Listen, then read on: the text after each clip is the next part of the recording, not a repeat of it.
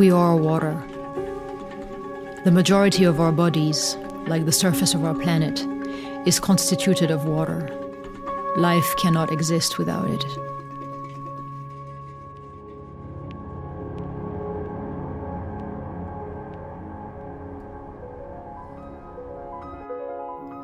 Water is nature's architect, sculpting the contours of the earth.